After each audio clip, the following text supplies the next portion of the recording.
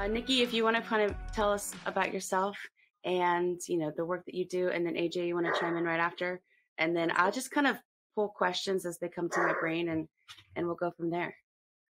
Okay. Well, I'm Nicki Nance. I teach at uh, Beacon College, but I've um, been in the mental health field for many years. Um, and uh, I've been at Beacon College for 11 years. Now we're unique. We've, uh, you know, we're an accredited school. We have a number of majors, um, and uh, been there for 30 years, just doing our work and building and improving. AJ? Um, I came to the human services field a little bit later. I actually have my PhD in industrial organizational psychology. Um, I also teach at Beacon. I love it there. Um, I've been there for eight years. So Nicki and I have had the opportunity to work on many a research project together over the years that I've been there. Uh, before I came to Beacon, I used to teach at a much larger university in St. Louis. It's a Division two school. It was really big, like my average class size was humongous compared to what I get to do at Beacon. So, um, so that's one reason why I left, you know, St. Louis to come to Florida to teach at Beacon. Um, and while I've been at Beacon, I have had the opportunity to really dive into the human services field um, because that's part of our department. So I've gotten to do lots of kind of uh, well teach some of the classes obviously but i've also got to do lots of community stuff and work with our students help them find internships that type of stuff so it's a really growing field it's really amazing yeah and so both of you didn't come into your your profession and your vocation with human services in mind right? Y'all kind of came to it kind of uh like naturally um through your work and your research? Yes, I was already teaching other places, and um, a colleague suggested that um, I check out Beacon College. I really wasn't too interested in another adjunct teaching job, but um, when I got there, it was such appealing work and very challenging that I ended up staying. Yeah, um, like I said, I wasn't really exposed to human services until I started teaching at Beacon College. Um, prior to that, I had done lots of volunteer work and stuff like that, especially as an undergrad, because I was really interested in clinical psychology. So um, I did some volunteer work at like women's shelters and things like that. So I got a little exposure to the human services field, but I didn't really think about a career in that field um, until until later. Yeah, I definitely understand that, Jack. I was interested in psychology um, at the beginning too, and the way that it was kind of taught was very clinical. And so that was kind of a turnoff at first, but it did individual, it helped me eventually find uh, a lot of use in human services when I moved to that school. So I've, I joke, I, I always, I never actually try to avoid psychology, but it's never on the top of my list. However, I always end up taking tons and tons of electives or courses or classes or what have you not in psychology because it is, you know, it is so relevant to serving other people. But y'all's work together and separately as well. And then uh, at Beacon College is on neurodivergence. Can y'all explain a little bit about um, what it means, I guess, by the book, and then also a little bit about each of your experiences with either people that have, you know, experienced it or, you know, in teaching it. Just give us kind of like a a view of your world and the research that you do. The challenge of the school is that in any classroom, with many students who all have different um, you know, like profiles that we're working with. So we may have students that have ADHD and some people with ASD, some with specific learning disabilities.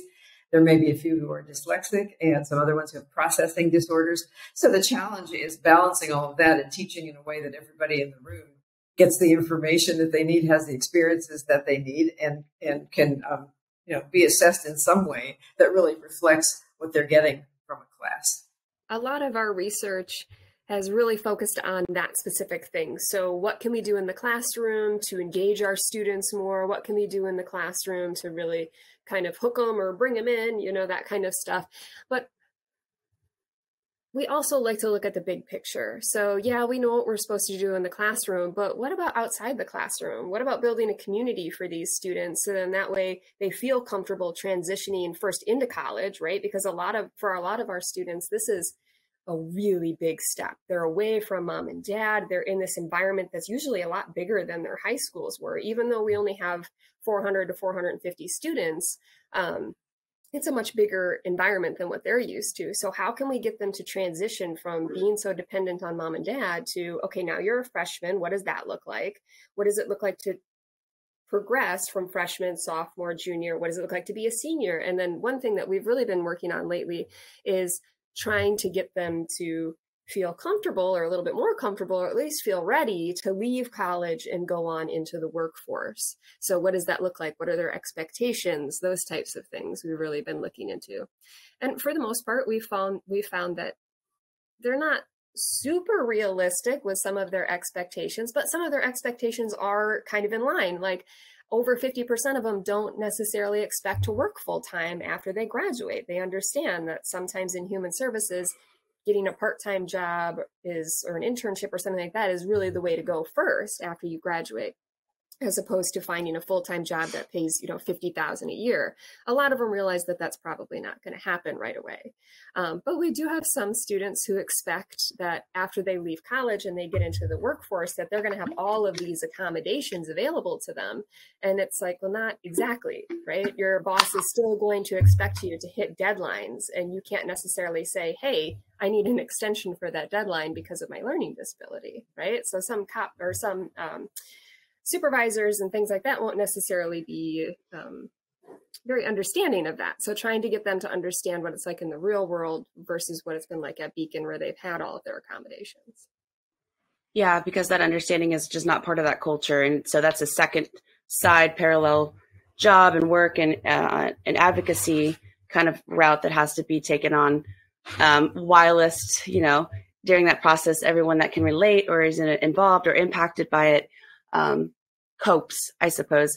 Uh, do y'all have students that you know when when they come to Beacon College, do they have a pretty good grip and understanding on whatever their learning you know disability might be, or you know what they're dealing with, or do you also have students maybe that are coming in with no real maybe it's new to them, maybe it's they recently did, you know found out, or they were in the midst of at another college, or you know on track to do something else when it became a barrier? I mean, what is the how how are the personalities of the students that you teach um, in their relationship to their neurodivergence? A, a, lot of our students had a late diagnosis. Um, you know, some in their adult time, so they struggled consistently until they were out of high school, went to college, and just couldn't make it. Though it was clear that they were bright. So uh, I don't say a lot, but that would be some of them for sure. We always have students like that. We also have students who come in and had no idea or no idea what their learning um, difference, what it you know what it meant. Um, I teach a class where they actually explore that their own um, whatever their own difference is. And some of them say, I, I don't have a name for it. I had an IEP. It didn't really say what it was. And so actually we're going in and saying, okay, let's see what the issues are and you know what that diagnosis most looks like. And some of them are just uh, right then discovering a name for exactly what they have. That's pretty much been my experience too. Sometimes we have students come in, although they are um, less, this happens less often. But sometimes they come in, they know everything about their LD, they know the accommodations that they need to have, they have been self advocating.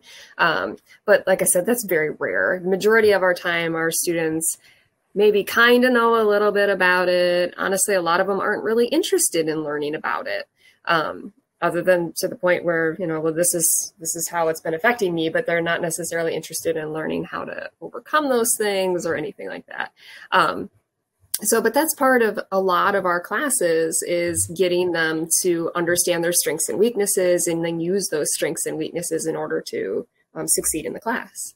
It sounds like y'all have students that are kind of you know naturally learning and being exposed to the different elements of their own personal experience. And and that's wonderful especially because you do have you have created an environment and work in an environment where um, it's encouraged that part is encouraged compared to any other place they might find themselves um, public school where you, whether the they know or not yeah. yeah. This would be the right. opposite of most colleges where they have a disability department and the, um, you know, it's hard for them to access that department. The department doesn't do a lot for them, doesn't necessarily encourage them to go for more. In our school, we're, you know, if we see somebody that's struggling, we're looking, we're, we know we have that accommodation somewhere within that system. We're going to help them find that. So it's really the opposite of, of what higher education is, and certainly what most of them have experienced in public schools. um, just yesterday, I was sitting in my office and one of our community um, organizers came in and was like, Hey, was this student in your class today? And I was just like, No, she wasn't. And he's like, I got to go find her. Um, so he was tracking her down. And it was just that morning that they had reported that she was having a bad day. So he was already, you know, by early afternoon trying to find her and locate her and make sure that she was okay.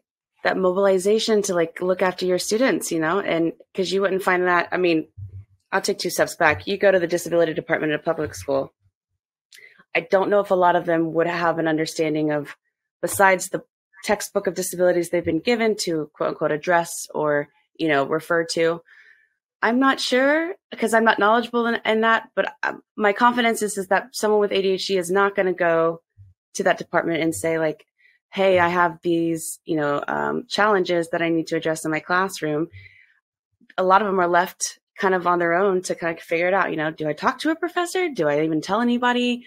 Um, do I get a tutor? Like, what is it that I need? So it's uh, like it's like a basic one sheet, one sheeted fit of how to address something that's um, it, it varies. You know, it's diverse. It's not a bad thing. It's just it's different. Everyone's got a different blueprint. Yeah.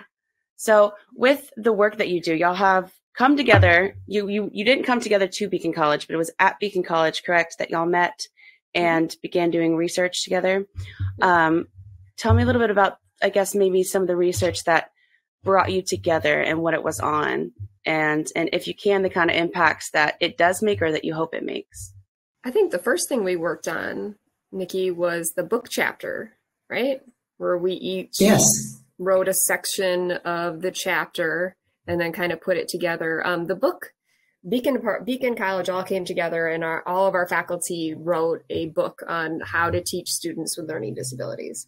Um, so our psychology department we wrote a chapter on um, like attention in the classroom memory in the classroom behavioral problems in the classroom mental health issues. So it was a lengthy chapter um, but it covered all of those things and then each person in our department kind of took on one of those topics as a, a writing point. I think that was our first project. And then after that i think we started really doing some of the emerging adulthood stuff and then we got into the mental health stuff during COVID, and then our recent stuff with them phasing out of college. Yeah, I think we the school um, was really looking at uh, the interaction between parents and the school um, because a lot of them accommodation means just call mom and she'll do it for me. Uh, and so working with the parent, you know, so with that kind of enabling going on, we really can't move them forward. So working with the parents became important and they asked us if we could do something. So we did put together a program about emerging adulthood and um, uh, AJ did the, the stats for um, people who really aren't actually emerging. They're just aging. Um, they're not really getting out into adulthood. It's, you know, it's, it's a brand new category of development anyway. Um, that, we, that oh, has cool. to yeah. So, you know, there's a focus on emerging adulthood. Um, you know, heard somebody say it used to be you were just an adolescent and then you were an adult at 18. Um, and, you know, that is no longer that up to age 34, between 24 and 34 or, you know, years of emerging adulthood. So the expectations are, are different. How they function is different. Um, the changes that occurred during that time period AJ is really good at ferreting out uh, compelling statistics that you look at them and say, "Oh, no wonder." You know? I like to scare them a little bit. yeah. parents know, like, if you're not supportive of your child now, they're going to be living at home for the rest of your life. That's a daunting thing to read. You're like, "Oh, okay, read the rest of this mean, book." Right? The statistics are pretty sad and depressing when you look at how many people are living at home with their parents still, you know, specifically millennials and then now Gen Z. Like so many people are having to live at home. There are more people living with their parents than living with friends or partners. Um, so, and when I tell the parents that, they're just like, oh no, I really do not want that to happen. so, right you know, a lot of it's educating them. Like these are the changes that your son or daughter are experiencing. They're on their own now in their own eyes. So they're going to want more freedoms. And then we kind of talk to them a little bit about how they can go about giving their son or daughter more freedom and how you tie that to more expectations at home and all that good stuff. And overall, I mean, it's been really well received. They've asked us semester after semester to please come and talk to the parents. So apparently it's working.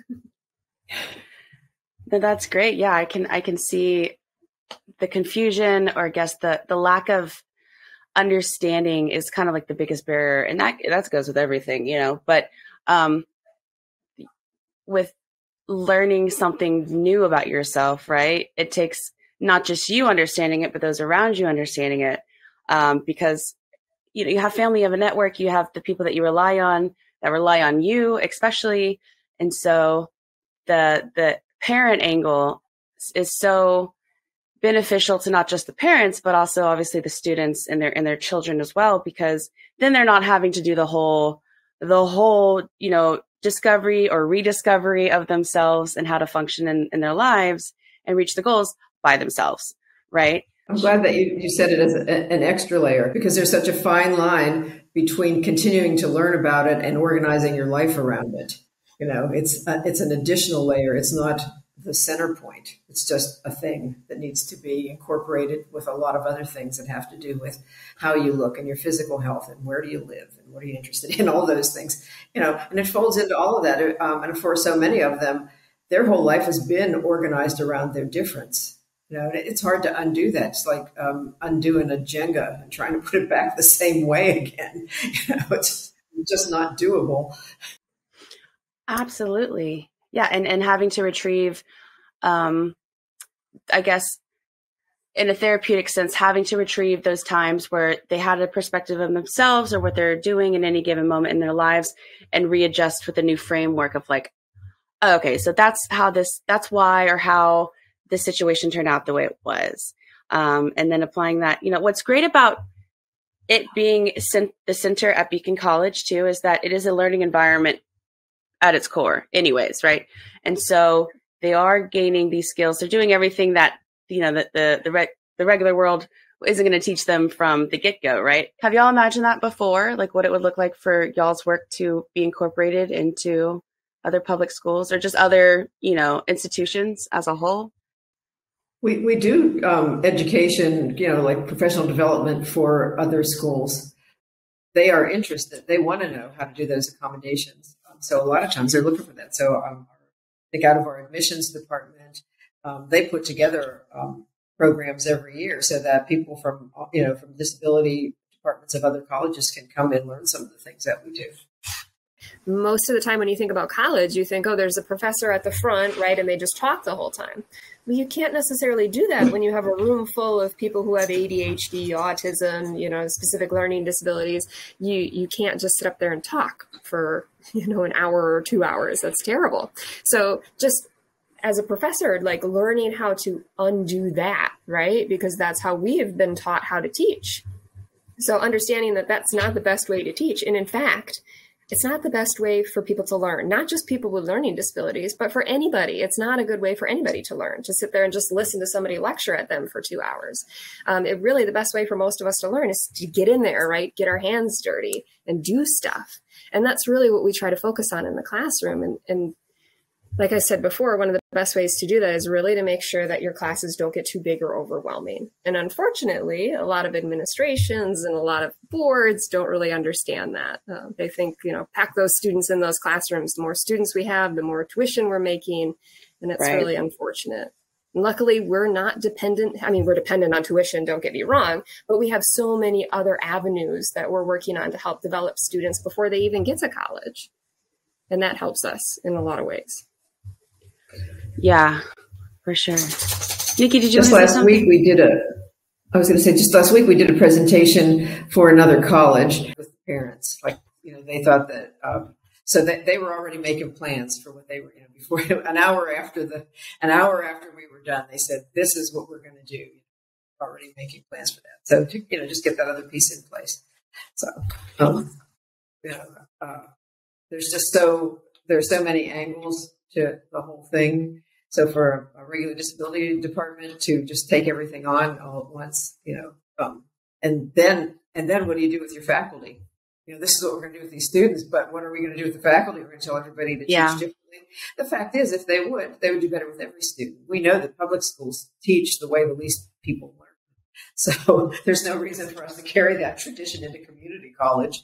Um, you know, but honestly, it's a lot more pleasant teaching the hands-on way. definitely. Yeah, you're really involved in the teaching. It, it, you know, there's a, there's skills that you want people to have, um, and it's fun to watch them develop those, and it's fun to teach those as opposed to just um, slapping out information on a PowerPoint screen. Yeah, sometimes honestly, uh, it's taken me a long time to get here but sometimes I feel like less is more when it comes to teaching information. Instead of shoving content down their throat just over and over and over again every day, um, just focus on the, the basics and really make sure that they grasp that um, and feed that to them in a way that they can really understand and apply it to themselves and remember it deeply. So that is more yeah. important than okay by the end of the semester they have to know everything about all of these different topics otherwise i failed as a professor um, but instead if they can walk away like Nicki said, with just a development of those skills that we've been working on, their writing skills, their presentation skills, their communication skills, we see progress there, then it's worth it. Because that's really what they're going to use when they go out into the real world, right? They're not going to be like, oh, I remember this one experiment that I learned in Gen Psych. That's probably not even really relevant, right? Um, yeah. Just Google that to find that information. Uh, but really, we need to develop those interpersonal skills, those you know skills that they're going to use on the job you said less is more, right? The first thing that popped in my head is the student in the classroom that says, no, no, no, no, no, no, no. I need you to tell me what I'm doing every week, what you expect. Is it a five paragraph essay? Do you, eh, you know what I'm saying? It's taught that that's the only way to succeed when you, you're earning your education, right? That the way you're going to go about this process of learning is you're going to do this, this, this, and this. And if you don't check off these boxes, you're not going to, you're not going to pass. And then that becomes not only a responsibility of the professor as well, but totally negates the entire purpose of whatever you're learning. You know, the less is more factor, I think, is the way to replace that checkbox system, right? You're going to go into this university, you're going to learn a lot of stuff, hopefully, stuff you're interested in. You might change your mind, but you're not going to be spoon fed and expected to do it in this box and I think less students would be afraid of having their own freedom. Funny, they'd be less afraid to having their own freedom and learning. And so, do y'all is that a priority as far as at Beacon College? You know, obviously there are objectives to everything, but these students have kind of the, the freedom to not only learn it the way they want to, but um, at their own pace. Absolutely, at their own pace, but um, but not at their own pace, so that um, they get to have a lot of incomplete classes that they have to finish. In fact, that rarely happens. Uh, that, that, there's an incomplete right. because they didn't do one, two, three, four, and five. Um, so, you know, how we grade would be different. I've, I have assignments I think a lot of uh, professors do where there are options on how you present what you've learned. Um, I, I really bring to students' attention at the beginning of many classes. You know, like I worry when you when your only questions to me are about how many points, how many words, you know that the, um, if you can you know if you can show me that you're brilliant on this in 10 words that will work. If you talk to me in a thousand words and you haven't said a thing that won't work. Um, so uh, it makes you celebrate something. Yeah, yes. And that's addressed right away. It, um, i just don't want to um, i guess i look at how we've been taught and in fairness to the educational system things changed. Like the only way we knew to teach, we had a limitation. We didn't have Google. We didn't have an electronic DSM-5. We didn't have a lot of things. So you really had to know a lot if you were going to be working with people to get a diagnosis. You really did have to to uh, to know things or what's out in the community. Now, what's out in the community changes every three days, and you can look at it every third day and say, "What is it today?" So why would we teach it the old way? The other thing is, I think a lot of us learned um, here's a topic here are all the theories about the topic, and here are some examples of those theories. I think we, you know, for myself, my teaching is more here's a here's um, a phenomenon, or here's an example, or here's something that happens, um, and let's dig into that and say all the details of it. And then, as we're digging into those details, to say, you know, theoretically, some people believe this about that, so they're already buy-in is there. They're engaged with the it that we're talking about and um, not you know and then they're going to understand the theory. So it's not you know i know we have such a big fuss about doing you know top down learning but sometimes um, you know starting with a small thing and working working up to the larger concepts works much better. You know that's what sticks with them and, and the things that they refer back to and that's part of that developmental model. When i get to um, a 4,000 level class, I have students who say, "Oh yeah, you mentioned a case when we were in this class that uh, that this applies to," and they can say that you know they can cite that case then informally and say that is that the same as this. Um, so we want them to make those connections. Part two of our conversation will premiere in two weeks on March 7th. In the meantime, listen, like, and share this episode and others over on Spotify, Apple, Google Podcast, or wherever you get your podcast.